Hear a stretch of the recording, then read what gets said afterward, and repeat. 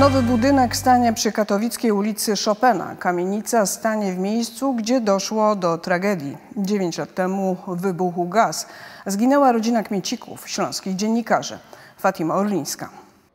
Wiele wskazuje na to, że pojawiła się realna szansa na odbudowę kamienicy w centrum Katowic. Jak potwierdza Katowicki Urząd Miasta, inwestor złożył wniosek o wydanie pozwolenia na przebudowę, jednak na decyzję będzie musiał trochę poczekać. Dziś nie udało nam się skontaktować z inwestorem, ale miasto informuje, jakie są plany co do przeznaczenia kamienicy. Pod koniec listopada do Urzędu Miasta Katowice wpłynął taki wniosek właśnie dotyczący rozbudowy i budowy budynków w miejscu, w którym niegdyś funkcjonowała kamienica u zbiegu ulicy Chopina i Sokolskiej. Taki wniosek będzie musiał być teraz rozpatrywany. Ta procedura oczywiście trwa kilka, kilkanaście tygodni, w związku z czym e, na ostateczną decyzję trzeba będzie jeszcze poczekać. To ma być budynek siedmiokondygnacyjny, w większości przeznaczony na budownictwo wielorodzinne. Na dole mają się znaleźć lokale usługowe.